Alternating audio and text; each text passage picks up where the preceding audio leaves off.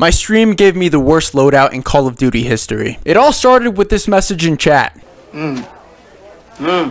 I know some of these words. They wanted me to use the burst perk on the MP5. I mean, it was an MP5, so it couldn't be bad, right? I was wrong.